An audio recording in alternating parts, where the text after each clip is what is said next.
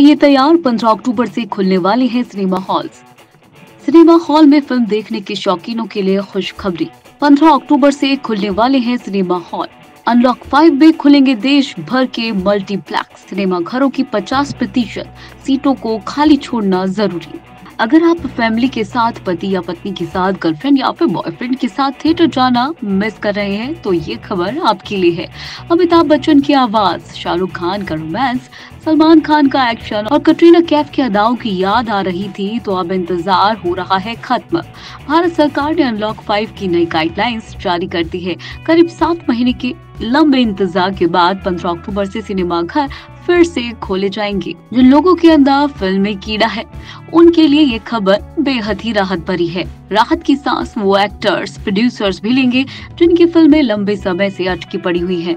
हालाँकि single theatres multiplexes को 50 प्रतिशत सीट क्षमता के साथ ही खोला जा रहा है और इसके लिए जल्द ही सरकार नए नियम भी जारी करेगी। तेरह मार्च को रिलीज़ हुई थी आखिरी बड़ी बॉलीवुड फ़िल्म। ये मार्च को आखिरी बड़ी फ़िल्म बागी रिलीज़ हुई थी, जिसमें टाइगर श्रॉफ और श्रद्धा कपूर जैसे एक्टर्स नज़र आए थे।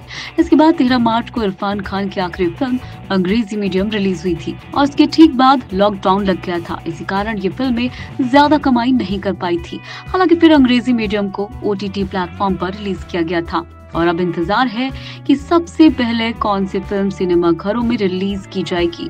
सलमान और अक्षय में से कौन सिनेमा हॉल के अनलॉक का उद्घाटन करेगा। फिल्मी दुनिया के हर अपडेट के लिए हमारे चैनल को सब्सक्राइब करें लाइक करें और शेयर करें।